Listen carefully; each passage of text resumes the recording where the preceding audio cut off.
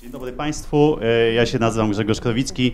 E, chciałbym e, kilka słów powiedzieć na temat zagrożeń związanych z wydobyciem gazu łupkowego w kontekście rolnictwa i produkcji żywności w Polsce. To jest zdjęcie początkowe, które przedstawia, na którym przedstawiony jest krajobraz kulturowy polskich żuław.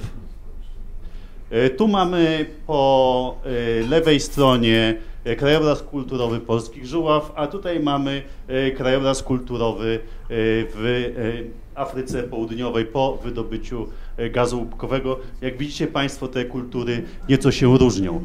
To jest zrobione przez ludzi, czyli to jest taka trzecia faza powstawania krajobrazu kulturowego, gdzie w zasadzie ten, ten obraz, który tutaj widzimy, jest w 100% stworzony przez ludzi i ten też jest w 100% stworzony przez ludzi.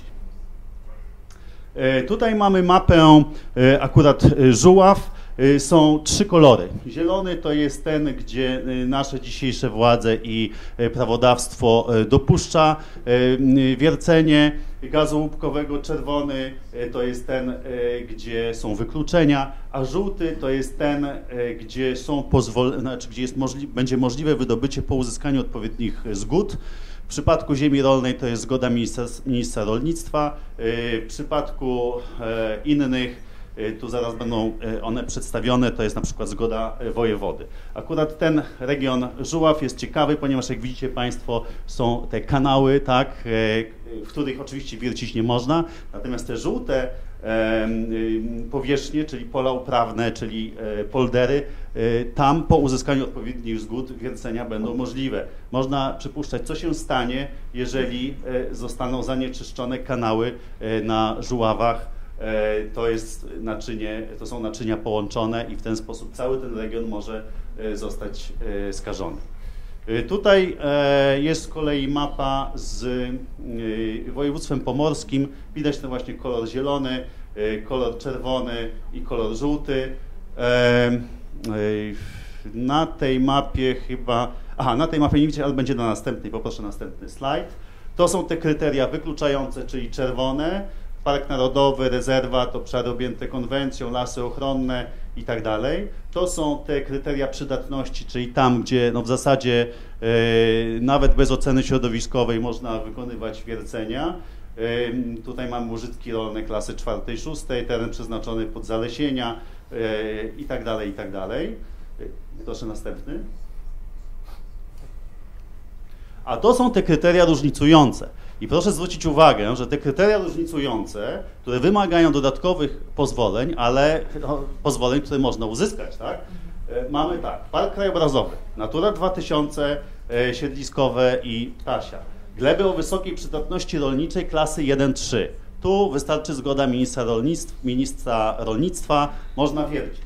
Otulina Parku Narodowego, e, otulina rezerwatu przyrody, strefy ochrony pośredniej ujęć wody. E, to jest ciekawe, ponieważ tu mamy mapę planowanego wydobycia na e, Bałtyku, również kryteria wykluczające, kryteria przydatności, kryteria e, różnicujące. Te kwadraty to są planowane koncesje. Tutaj, gdzie są te linie, to są już złożone koncesje. Proszę następny. Co ciekawe, tutaj mamy z jednej strony te kwadraty, czyli planowane granice koncesji na poszukiwanie gazu łupkowego, a tutaj mamy występowanie, e, czyli połowy ryb. Tu, gdzie jest czerwone, nie, poproszę wyżej, tu, gdzie jest czerwone, to mamy największe połowy ryb. I teraz te największe, czyli czerwone i żółte, pokrywają się w dużej mierze e, z tymi koncesjami. Władze województwa pomorskiego w swoim opracowaniu na ten temat proponują rekompensaty dla polskich, polskiego rybołówstwa czasowe bądź docelowe, ponieważ te wiercenia będą się odbywały przez 30-40 lat co najmniej. No, te ryby po prostu w, w, tym środowisku raczej nie będą czekać, one sobie gdzieś po prostu popłyną dalej i być może, że będziemy kupować ryby, prawda, z, y, gdzie na puszkach będziemy mieli e, napisy cyrylicą, tak? no bo jeżeli one popłyną na wschód, to będziemy mieli ryby z Rosji. Teraz różnice USA-Polska, koszt odwiertu średni, to są średnie koszty 3,9 milionów e, dolarów e, w Polsce, w Europie, w, w Polsce, to, to jest kwestia dane z Polski, 11 milionów dolarów. Głębokość w Stanach 1200-1800 metrów, w Polsce 2 do 4 tysięcy. Teraz to, co Pan pytał, e, w jaki sposób wpływa głębokość. Głębokość wpływa w ten sposób, że każde 15-20 metrów więcej to jest jeden stopień, tak? czyli są tu problemy technologiczne, są większe koszty, są większe wymagania sprzętowe. Jak są większe wymagania sprzętowe, to również e, jest większe zanieczyszczenie środowiska, jeżeli na przykład chodzi o kompresory.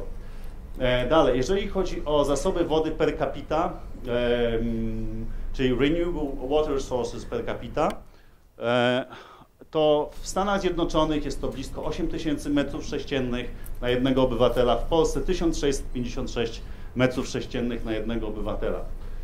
E, jeżeli chodzi o sposób wydobycia, w Stanach to, co widzieliśmy na mapach, mamy coś takiego jak sweet spots. Czyli to są tereny relatywnie mało zamieszkałe, e, gdzie e, nie ma e, jakiegoś przemysłu, czy nie ma intensywnego rolnictwa, gdzie można wiercić dużo otworów, w ten sposób uzyskiwać duże efekty. U nas jest problem miejsca, tak? Jest to duży problem w całej Europie, również w Polsce. Zużycie wody, jeszcze wyżej poproszę, zużycie wody w Stanach średnio 17 metrów sześciennych E, u nas ze względu na głębsze właśnie pokłady tego gazu e, to zużycie będzie większe. Minimum 20-30 metrów sześciennych do 100 metrów sześciennych. E, te głębsze pokłady wymagają często podwójnego, potrójnego szczelinowania, co skutkuje większym zużyciem wody. Na szczelinowanie czy na jakąś inną jednostkę? To jest na jeden odwiert, w tysiącach To w tysiącach. E, w tysiącach, tak, przepraszam, w tysiącach metrów sześciennych. E, teraz tak, e, większa odległość od miast, w, e, jeżeli chodzi o Stany Zjednoczone, mniejsza odległość od miast. My mamy ten problem, że większość tych terenów wydobywczych nie leży daleko od miast. To znaczy na przykład źródła poboru wody dla Warszawy rozpoczynają się już 100-150 km od Warszawy. E, e, to samo jeżeli chodzi o Gdańsk, to jest 60-80 km. Więc tutaj będziemy mieli konkurencję, jeżeli chodzi o zasoby wody, szczególnie od późnej wiosny do e, jesieni. Jeszcze wyżej, poproszę. E, stosunek kosztów e, wody na odwiert e, mniej więcej 1 do 7 do 10, jeżeli chodzi o Polskę, Europę, to jest to, co Pan mówił. Koszty wydobycia w Europie i w Polsce będą dużo większe niż w Stanach Zjednoczonych, co będzie skutkowało parciem firm wydobywczych na zaoszczędzenie na kosztach ochrony środowiska. Proszę dalej. W Stanach, jeżeli chodzi o wiertnice, ilość wiertnic jest 2000, w całej Europie 74. To powoduje większe koszty wydobycia mniej więcej o 20% w Europie niż w Stanach Zjednoczonych. Średnie wydobycie na jeden odwiert 37 milionów metrów sześciennych, e, w Stanach, w Polsce około 11 milionów metrów sześciennych. Co jeszcze? Rozbudowana infrastruktura e, w Stanach, jeżeli chodzi o przesyłanie i magazynowanie gazu, słaba infrastruktura przesyłowa e, w Polsce. Utylizacja płynów wydobywczych, rozwinięta infrastruktura w Polsce, słabo rozwinięta infrastruktura po prostu ta ilość e, przemysłowych mm, instalacji, które e, umożliwiają na zasadzie osmozy na przykład e, utylizację przemysłowych ilości tych płuczek i płynów wydobywczych w Polsce absolutnie nie poradzi sobie z tą ilością płynów, które będą.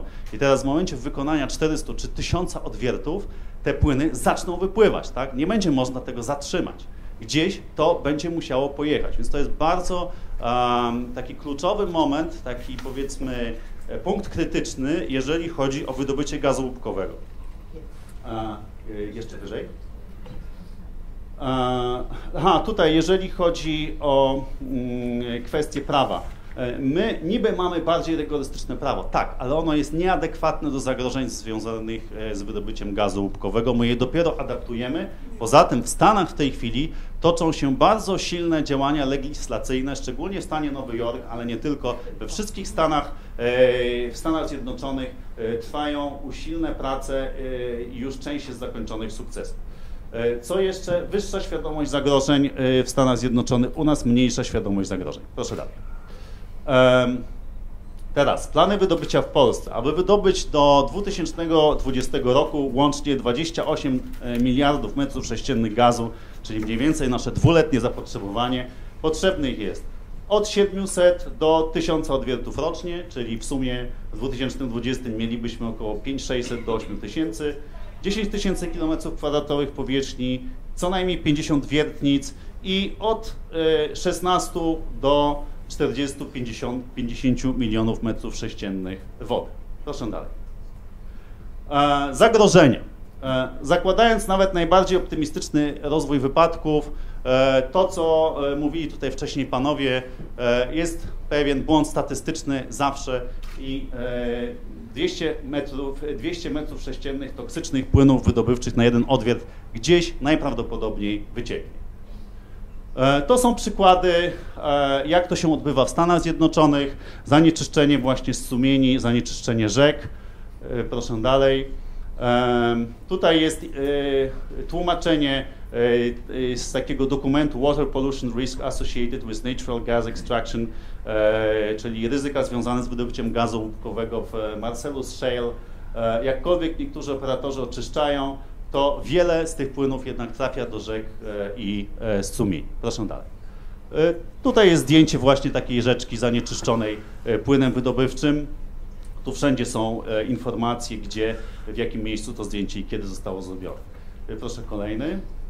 E, teraz problem kolejny. Wiele ze ścieków, na przykład w Stanach, szacuje się, że nawet około 50% do 2011 roku było, trafiało do gminnych, miejskich oczyszczalni ścieków. Te oczyszczalnie absolutnie nie są przygotowane do oczyszczania E, płynów, gdzie jest silna koncentracja soli metali ciężkich, e, gdzie są substancje radioaktywne, takie jak rad, jak strąd, e, które przekraczają dwu, trzykrotnie normę. I odprowadzanie tych płynów do oczyszczalni ścieków powoduje właśnie w Stanach zanieczyszczenie rzek w Appalachach na przykład solami i metalami ciężkimi. Największe zagrożenia związane z wyciekami substancji toksycznych to są wyciek w trakcie transportu, E, wyciek na skutek e, pęknięć ocembrowania szybu, to o czym Pan mówił i rzeczywiście to e, tak w rzeczywistości jest. Im większe oszczędności, tym większe prawdopodobieństwo tych wycieków. W Stanach się szacuje, że mniej więcej 6% szybów ulega awarii w przeciągu 6 miesięcy od ich wywiercenia. A szacuje się, że około 60% będzie miało mniejsze lub większe przecieki w trakcie 30 lat od E, momentu ich powstania. E, wycieki na powierzchni szybów, e, co stawia pod znakiem zapytania rekultywację tych terenów. Wycieki ze zbiorników retencyjnych, bardzo poważny problem, o tym będę jeszcze mówił. Oczyszczanie płynów wydobywczych, przesiąkanie przez warstwy geologiczne, na przykład w miejscowości Pawilion, tam są konkretne badania, pisała o tym Gazeta Wyborcza. E, to jest przykład takiego zbiornika retencyjnego słabo zabezpieczonego e, właśnie w e, Marcellus. Proszę dalej. To jest przykład z RPA. Kolejny taki zbiornik, który już zdążył wyparować. Widać, co tam zostało na dnie. To jest przykład strumienia E, właśnie w e, Lewis e, Wildlife Management Area, również Marcellus Shale, gdzie po prostu firma wydobywcza zrzuciła takie maty absorpcyjne w celu ich oczyszczenia. Tak? Jeżeli chodzi o te zagrożenia, zwierzęta hodowlane, Zwierzęta hodowlane żyją na terenach wydobycia gazu, na których testy wykazują skażenie wody, ziemi, powietrza i w ten sposób toksyczne substancje trafiają do systemu żywienia. Niektóre z chemikaliów mogą trafić do mleka, mięsa pochodzących od tych zwierząt. To jest wypowiedź y, autorki jednego z y, opracowań weterynarz ze Stanów Zjednoczonych. Y, są, jest kilka, powiedzmy tak, zagrożenia dla zwierząt, one tak samo zagrożenia dla ludzi mają głównie charakter Y, y, takich y, cyklicznych, niewielkich, ale przez długi okres czasu występujących występujących substancji toksycznych, czyli poddawaniu tych zwierząt i ludzi przez długi okres stosunkowo niewielkim dawkom substancji toksycznych. Natomiast jest kilka przypadków takich, gdzie, które miały no, taki charakter powiedzmy katastrofy. Tak? To znaczy Luizjana, 17 krów padło po tym, 17 po godzinę po tym, jak dostały się do płynu do, do, hydraulicznego, do szczelinującego. Nowy Meksyk, zbadano 56 krów, które pasły się w okolicach wydobycia i okazało się, że ich sierść zawiera substancje toksyczne. Pensylwania, no, jest pięć czy sześć takich e, no, groźnych przypadków, które miały miejsce i które obrazują, co się dzieje właśnie w przypadku słabego zabezpieczenia szybu, e, mm, dostania się toksycznych substancji z płuczek powracających do, do obiegu. Y, tutaj mamy, jest mnóstwo artykułów na ten temat w internecie, ja tylko pokazuję y, y, tytuły tych artykułów. Teraz, jeżeli chodzi o ludzi, mamy problem z bagatelizowaniem zagrożeń, tak? To znaczy, mówi się, że to nie jest takie groźne, że, że te środki szczelinujące to w zasadzie ich skład to, to, to samo, co e, w gospodarstwie domowym i tak dalej. Uważam, że to jest bardzo duży błąd w Polsce, ponieważ w Stanach Zjednoczonych mamy coraz poważniejsze zdarzenia związane z zagrożeniem e, dla ludzi, przede wszystkim przez, poprzez skażenie powietrza, w pierwszym rzędzie powietrza, a nie wody, w drugim rzędzie wody, potem ziemi i żywności. E, gdyby ktoś chciał, jest 56-minutowy film, na którym wypowiada się i przeprowadza swoją prezentację doktor toksykologii ze stanu Nowy Jork David Brown, E, bardzo profesjonalna prezentacja z dużą ilością informacji i toksyn, które występują właśnie przy szczelinowaniu ich wpływu na e, życie ludzi. A to są e, podstawowe objawy, które pojawiają się właśnie w Stanach Zjednoczonych. Zaburzenia gastryczne, bóle nudności, wymioty to jest numer jeden. Krwawienie z nosa, nawet do 20 populacji w danej miejscowości, gdzie występuje intensywne wydobycie gazu łupkowego. Bóle głowy, migreny. Choroby skóry, E, odczyny alergiczne, poparzenia, wysypki, niegojące się rany na skutek interakcji z innymi czynnikami.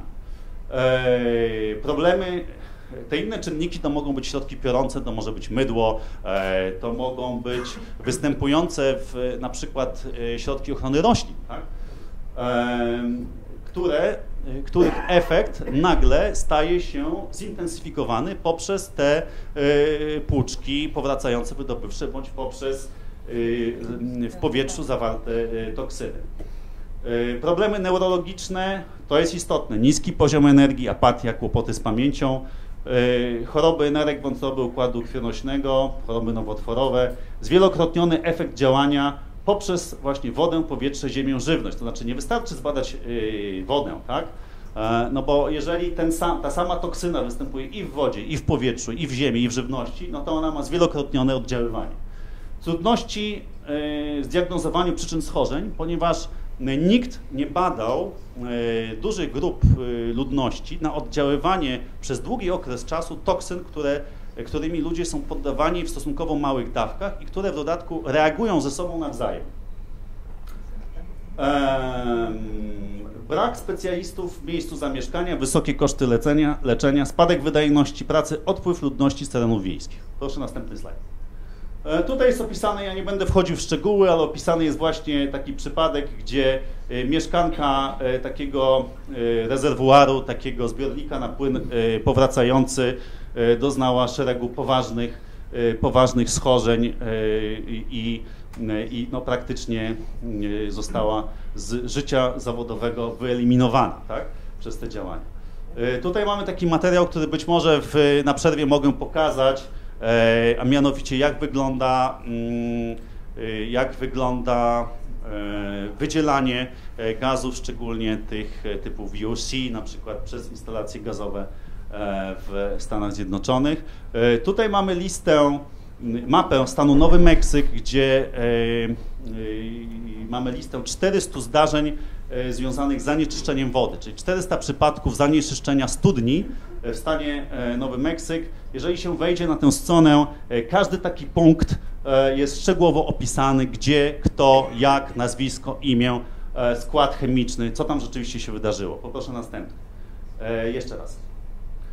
Tutaj z kolei jest mapa wszystkich zdarzeń związanych w Stanach Zjednoczonych stworzona przez taką organizację TrackTracker.org, gdzie każdy punkt oznacza zdarzenie związane właśnie ze szczelinowaniem hydraulicznym, zużyciem gazu łupkowego, jeżeli chodzi o szkodę dla ludności bądź zwierząt hodowlanych. Poproszę następny. Tu jest na przykład jeden z takich przykładów. Pensylwania, Washington, Washington County, czyli region Waszyngtonu, e, e, symptomy u człowieka, e, wysypka, e, jakieś e, poparzenia, e, brak możliwości koncentracji, utraty stan, stanu świadomości, krwawienia z nosa, letargia, benzen, toluen i arsen znalezione we krwi i w moczu. Tu to jest ciekawy przypadek, ponieważ mówi się o tym, że gaz łupkowy to zatrudnienie ludzi w terenie. E, to jest przypadek młodego człowieka, który porzucił pracę w piekarni, zatrudnił się w firmie wydobywczej dwa i pół miesiąca po ślubie, e, natomiast kierowca, który prowadził ciężarówkę, pracował przez 20 godzin bez przerwy. E, tutaj jest, powracam do tej kwestii obniżania kosztów produkcyjnych, spowodował wypadek i ten młody człowiek zginął. Następny y, przykład. To jest ten sam przykład opisany w prasie lokalnej. E, ten właśnie Roth had been married only two and a half months after the crash. Y, pracował w piekarni i y, zatrudnił się w firmie wydobywczej. Teraz E, mówi się, że wydobycie gazu łupkowego e, będzie generowało dużo miejsc pracy, dużo miejsc zatrudnienia. Jest to tak powszechna opinia, że nawet poważne raporty, jak raport firmy e, KPMG mówi o tym, że 600 tysięcy osób znalazło zatrudnienie przy wydobyciu gazu łupkowego. Ale ja mam tutaj dane, można sobie wejść zresztą w internecie. Departament Zatrudnienia i Przemysłu w Centrum Informacji o Zatrudnieniu stanu Pensylwania, to jest taki amerykański GUS i tutaj widać, ile rzeczywiście ludzi znalazło pracę przy wydobyciu gazu łupkowego. To znaczy, e, widzimy tu wzrost od 2009 roku, e, Tutaj mamy poziom około 20 tysięcy osób i do 2000, drugiego kwartału 2012 e, jest to wzrost o 19 500 e, zatrudnionych. Czyli w sumie jest zatrudnionych mniej więcej 39, 500, 39 500 osób na 5 milionów 750 tysięcy ogólnie zatrudnionych w stanie Pensylwania. Więc to jest poniżej 1% wszystkich zatrudnionych. Jeżeli chodzi o wzrost zatrudnienia w branżach stowarzyszonych, w branżach pokrewnych, e, to jest to 16 tysięcy osób w tym samym okresie. Tu nie możemy powiedzieć na 100%, że to są ludzie, którzy zostali e, zatrudnieni tylko i wyłącznie w branży e, wydobywczej, a poza tym spośród tej grupy zaledwie 6 tysięcy to są nowo zatrudnieni, a 10 tysięcy to są ludzie, którzy przeszli z innych branż, z innych sektorów. E, szczególnie dotyczy to stanowisk nisko wynagradzanych, czyli w regionach wydobycia e, na przykład mleczarnia straci kierowców, tak? E, piekarnia straci kierowców, bo pójdą pracować do firmy wydobywczej, trzeba będzie im więcej zapłacić, w związku z tym ceny pieczywa, ceny produktów rolnych e, pójdą e, w górę. Tu jest przypadek, gdzie nastąpiła eksplozja, gdzie sześciu, sześć osób zostało poparzonych, trafiło do, do szpitala, do centrum poparzeń. Takie sytuacje też się zdarzają. Proszę dalej. Ten przypadek jest opisany również na tej stronie, prawda, płomienie ognia do 35 metrów i tak dalej. Następny. Yy. Tutaj mamy też przypadek taki typowy, bo starałem się wybrać typowe przykład, przypadki. E, w, Skas w Susquehanna County, tam jest dużo przypadków tego typu. E, właściciel, e, rolnik, bardzo chory, krwawienia, wymioty. Jest to właściciel ptasiej fermy. Jeżeli chodzi o ptaków, wy, wypadają pióra, e, biegunka, e, więc to są również straty finansowe. Tu mamy przykład opisany w prasie lokalnej, gdzie właściciel, któremu zatruto studnie, przez pewien czas otrzymywał wodę od firm wydobywczych. Oni przywożą je w takich pojemnikach 500 litrowych, które ludzie powszechnie nazywają Buffalo. E, bo tak wyglądają trochę. I temu człowiekowi pewnego dnia przyjechała firma wydobywcza i te pojemniki po prostu zabrała. Wylali wodę na ziemię zmarzniętą, bo to było zimą, zabrali mu te, te pojemniki i on został po prostu bez wody, nie wie co zrobić. Ten przykład również tutaj sprawdziłem w drugim źródle, jest tutaj dokładnie opisany. Left with no potable water, pozostawiony bez wody pitnej, e, nie może uzyskać wody od firmy wydobywczej. E, wracając do zwierząt hodowlanych, mamy także problem takiego PR-u czarnego, czy też marketingu, to znaczy on nie musi być czarny, tak, bo to może być odzwierciedlenie rzeczywistości, ale te informacje dotyczące właśnie, yy, czy też brak możliwości zweryfikowania, czy rzeczywiście to wpływa na, na żywność, czy nie, yy, gdzie rzeczywiście odbywają się te wiercenia, powoduje reakcję również odbiorców, yy, czyli klientów, przedsiębiorstw, yy, gospodarstw produkujących mięso i mleko. Sieci restauracji wycofują się z kontraktów z farmerami z okolic wydobycia gazu łupkowego, są to konkretne straty. Firmy produkujące zdrową żywność mogą utracić certyfikaty. Dalej.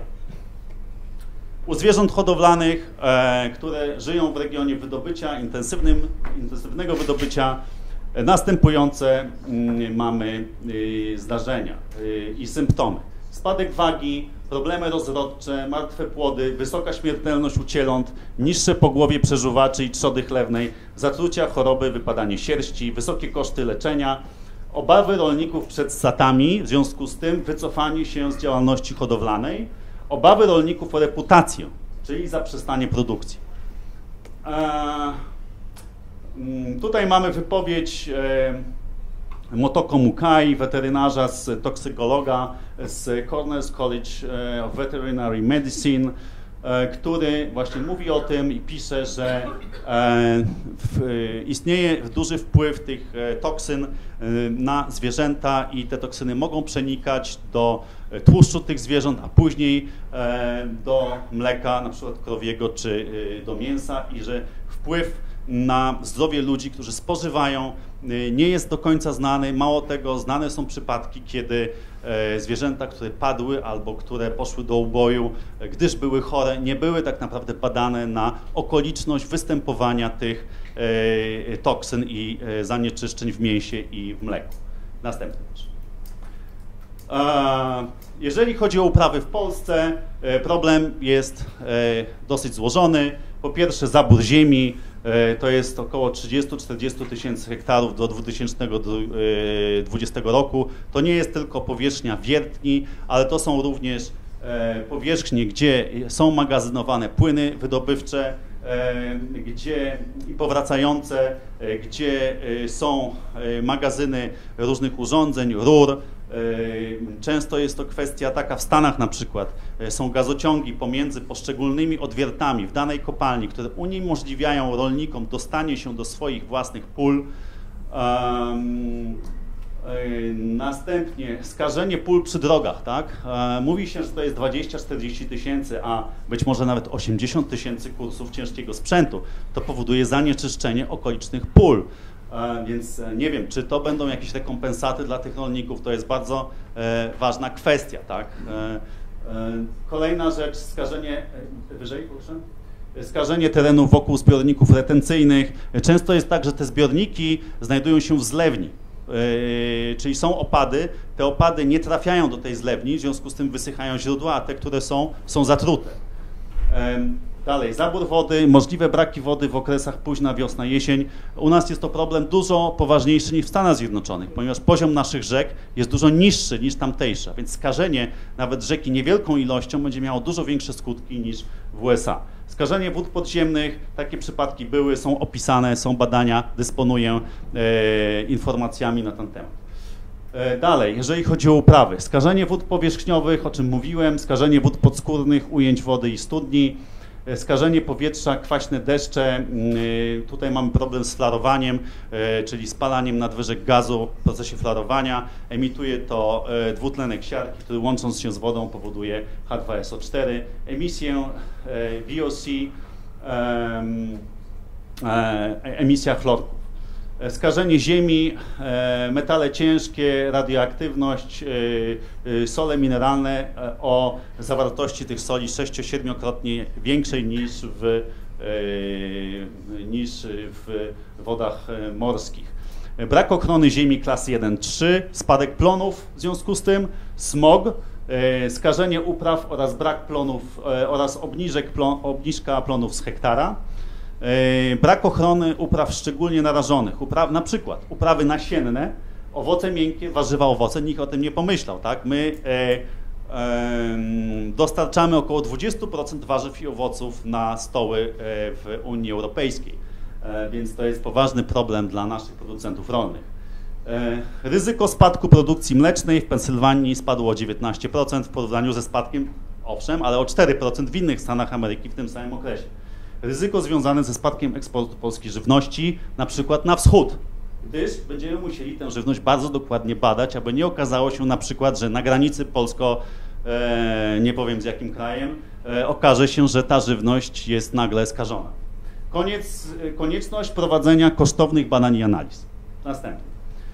E, inne zagrożenia, e, e, spadek wartości działek, spadów, spadek dochodów z agroturystyki, ekoturystyki, problemy gospodarstw ekologicznych, wzrost kosztów ubezpieczeń, trudności z uzyskaniem kredytów, wzrost kosztów produkcji rolnej, spadek populacji dzikiej zwierzyny, na przykład w Stanach w Pensylwanii 40% spadła populacja jelenia. Jest to związane również z silnym oświetleniem i hałasem, które towarzyszy wydobyciu gazu łupkowego. Jeżeli się spojrzy na zdjęcia satelitarne, na przykład z Marcellus Shale, to mniej więcej ta jasność tych flarowanych szybów jest tak duża jak jasność dużych miast typu Minneapolis. Jeszcze wyżej? Mm, niski stan wody, zanieczyszczenie wód powierzchniowych, narażenie gospodarstw rybnych. To jest duży problem, bo jeżeli wytniemy e, rybołówstwo morskie, a przy okazji e, większość gospodarstw rybackich, jeżeli chodzi o ryby słodkowodne, znajduje się przy rzekach i zanieczyścimy te rzeki, no to mamy problem z rybami w ogóle w Polsce. E, gospodarka leśna, deforestacja, bo jakby gospodarka leśna, ponieważ nie ma gdzie wywiercić tych 100 tysięcy czy iluś wiertni, no to gdzie one będą wiercone? One będą wiercone w lasach w dużej mierze, tak? No to jest deforestacja, to jest utrata terenów o istotnych walorach przyrodniczych, otuliny parków, obszary Natura 2000, zagrożenie gatunków endemicznych i spadek, e, jeżeli chodzi o popyt na produkty runa leśnego, tak? Czyli to jest mniej więcej 800 tysięcy ludzi w Polsce żyje latem ze zbieractwa. Dalej. E, tu jest przypadek e, e, z miasta, z miejscowości Dimok, gdzie właśnie błąd przy ocembrowaniu szybu, a w zasadzie przy już wierceniu tego szybu spowodował, że gaz, metan przeniknął do instalacji wodnych, do studni i następnie nastąpiła eksplozja, gdzie po prostu powypadały okna, drzwi z domu mieszkańców tej, tej miejscowości. Dalej proszę. E, tutaj mamy bardzo ciekawy, poglądowy, że tak powiem, przy, przykład. E, to jest akurat flara w mm, wiertni, która znajduje się na terenie e, mleczarni, znaczy farmy mlecznej Marburger Well on Evans City Road w tej Marburger Farm Dairy Milks. E, która daje 25 tysięcy galonów mleka tygodniowo, które docierają do 1800 domów i 2500 szkół i szpitali, restauracji i innych. E, proszę dalej. E, to jest ich strona na Facebooku. Proszę dalej. A tutaj jest opinia na tej stronie na Facebooku. Nie polecam spożywania mleka z mleczarni, gdzie toksyczne E, gdzie, gdzie prowadzona jest e, ciężka, e, toksyczna przemysłowa działalność związana z wydobyciem gazu łupkowego, frackingiem, flarowaniem. Czy naprawdę myślicie, że krowy, które są narażone na toksyczne powietrze, tutaj są podane różne substancje, będą dawały mleko, które jest zdrowe i bezpieczne dla waszej rodziny do picia? Absolutnie nie, to jest przestępstwo. Tak? Czyli ten spadek konsumpcji może również być spowodowany takimi sytuacjami. E, efekty skumulowane to jest również informacja, która jest już u nas znana w Polsce. To jest akurat z dokumentu przygotowanego przez Instytut Morski e, na zamówienie wojewody pomorskiego. E, więc wiemy o tym, że te efekty będą i to jest lista tych efektów. Możecie Państwo wejść sobie na stronę i przeczytać. Więc nie jest prawdą, że nie ma zagrożeń. Już nasze władze wiedzą o tym, że te zagrożenia są. Proszę dalej. E, I to jest cała lista tych efektów skumulowanych, więc ci, którzy są zainteresowani, mogą sobie przeczytać. Muszę niestety iść dalej. E, e, proszę dalej. Zagrożenie dla środowiska, jest mnóstwo tych zagrożeń, które również są w tej chwili znane w Polsce. Nie do końca wiadomo, jak sobie z tym poradzić. Proszę dalej. To jest istotne dosyć, ponieważ są to kategorie zagrożeń. Dzisiaj wydaje nam się, a w zasadzie władzom wydaje się, że to jest tak, jak tu jest napisane. To znaczy, że najpierw jest to oddziaływanie na zasoby wodne, e, później magazynowanie i zagospodarowanie dużej ilości odpadów wydobywczych, później oddziaływanie na obszary Natura 2000, później oddziaływanie na warunki życia ludzi, emisja hałasu i tak dalej, e, a później stosowanie substancji chemicznych. Gdy zaczniemy wydobywać gaz łupkowy, to, e, czyli oddziaływanie na warunki życia ludzi plus stosowanie substancji chemicznych, przejdzie na górę jako numer jeden. Tak się stało w Stanach Zjednoczonych. E, mm, tutaj jest, aha, tutaj jest taki sygnał, że władze lokalne nie radzą sobie e, z tematem. To znaczy, nie wiedzą, jak poradzić sobie z problemem e, środowiskowym związanym z wydobyciem gazu łupkowego i że potrzebne są działania na e, polu centralnym, na płaszczyźnie centralnej. Proszę dalej. A więc pojawia się coś takiego jak nagle, kurczę, to miało być tak fajnie, tak przyjemnie, a nagle jest Houston, mamy problem, tak? Y, więc w skali regionu należałoby rozważyć opcjonalne możliwości korzystania z różnych zasobów wodnych z preferencją dla wód morskich i Wisły. No bo już wiemy, że tej wody mamy za mało w rzekach, za mało mamy w studniach, za, mamy, za mało mamy w źródłach, no więc szukamy, tak? Gdzie tu możemy nagle tę wodę zdobyć? Proszę dalej. No i wiadomo, gdzie możemy ją zdobyć. Możemy ją zdobyć z morza. Eee, e, mało tego, że możemy ją znaleźć w morzu, to jeszcze możemy do morza odprowadzić te substancje toksyczne, płyny szczelinujące i płyny wydobywcze. No bo dlaczego? Bo nie będzie to na naszym terenie. I tu mamy, wyżej jeszcze proszę, to jest oficjalny dokument przez, sygnowany przez wojewodę pomorskiego, gdzie możemy przeczytać odprowadzenie, uwaga, podczyszczonych ścieków, podczyszczonych ze szczelinowania do morza można by wyprowadzić poprzez podłączenie do istniejących wylotów głębokowodnych lub realizacją nowych obiektów inżynieryjnych i infrastrukturalnych. E, e, tu mamy ilości, ile tych płynów rzeczywiście jest. Jest świadomość tego, wiemy, że to jest 50 tysięcy metrów sześciennych zwrotnego płynu szczelinującego na przestrzeni kilku tygodni na jeden odwiat. Dalej.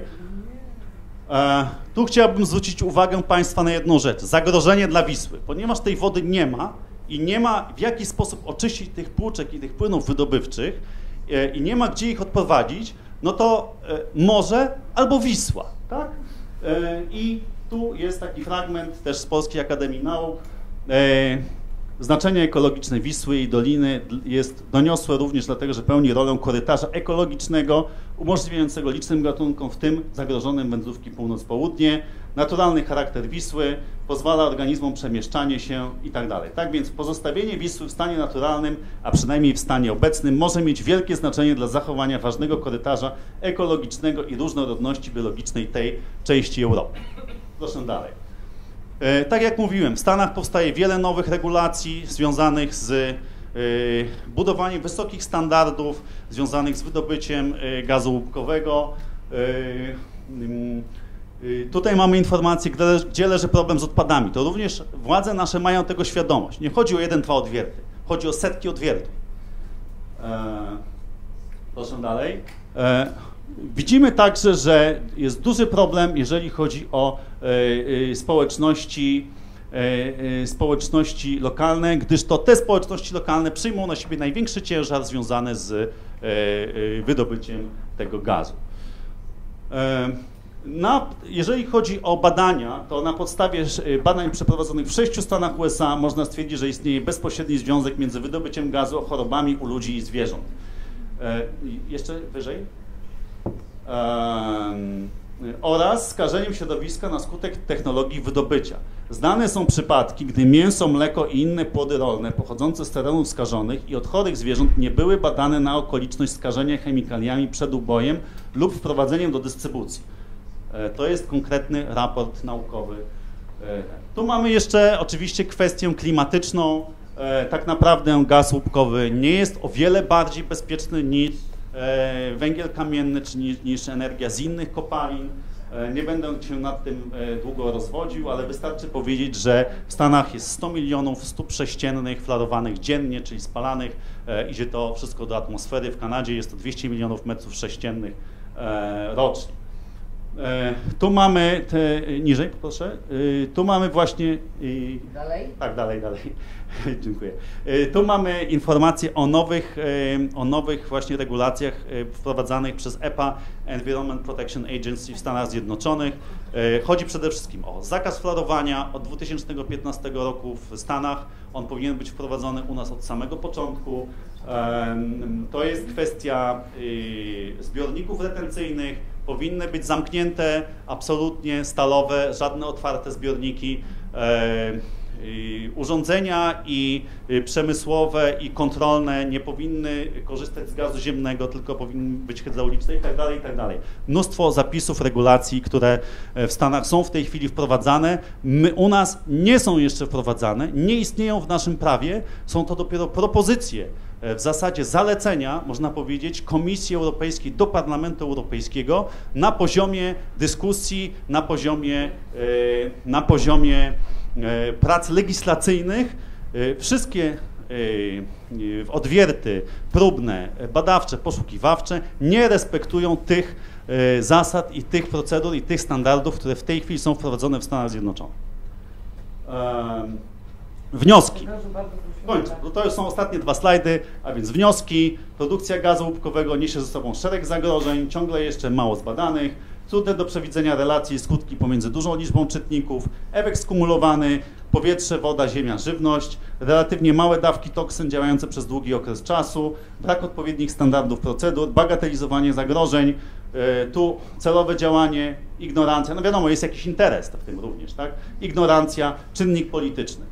E, Tendencja do wypierania zagrożeń e, lub przesuwania ich na inny teren, brak wystarczających mechanizmów kontrolnych lub nieadekwatne, nieskuteczne prawo, braki e, strategii i procedur zarządzania kryzysowego, w tym dyfuzja odpowiedzialności, brak funduszy, próba przeniesienia odpowiedzialności na firmy wydobywcze. Jeżeli w Stanach jest tak, leje się, e, tak, płuczka czy jakiś płyn jest wyciek, dzwonią tam do tej firmy, e, jest automatyczna sekretarka przez tydzień, dwa tygodnie, trzy tygodnie, cztery tygodnie, nic się nie dzieje. No leje się, no trudno, leje się, tak? No gdzieś musi się wylać, prawda? Jak nie tu, to gdzie indziej. Więc e, nie liczmy na to, że firmy wydobywcze zadbają o nasze bezpieczeństwo, absolutnie. Nie ma takiej możliwości. Jeszcze wyżej? E, brak informacji o rzeczywistych zagrożeniach, propaganda sukces, sukcesu, zamiatanie niewygodnych faktów pod dywan. E, proponowane przeze mnie działania. Rozpoczęcie szeroko zakrojonych, długookresowych, minimum 3-4 lata badań nad wpływem wydobycia gazu łupkowego na zdrowie ludzi, zwierząt hodowlanych oraz na możliwe skutki skażenia wody, płodów rolnych, żywności i pasz. Do czasu publikowania wyników wprowadzenie moratorium na wydobycie gazu łupkowego metodą szczelinowania hydraulicznego. I dalej. E, objęcie ochroną prawną Doliny rzeki Wisły, Żuław Wiślanych, Zalewu Wiślanego oraz Wybrzeża Bałtyku i wód przybrzeżnych przed zakusami firm wydobywczych. Wprowadzenie całkowitego zakazu stosowania odkrytych zbiorników retencyjnych, wprowadzenie wysokich standardów w zakresie aparatury kontrolno-pomiarowej, wprowadzenie zakazu flarowania, wprowadzenie zasad green, green completion e, jako obowiązkowych, minimalna odległość od zabudowań 1,5 km, minimalna odległość od pastwisk i upraw kilometr, wprowadzenie bezwzględnie zasad REACH, chodzi o Chemikalia. informacje o chemikaliach e, oraz kary, wysokie kary za ich nieprzestrzeganie, no bo co z tego, że minister Wójcik mówi, że on powie, co tam jest, jak on nie mówi, tak? E, Już powie, że przekaże informacje, ale nie przekazuje.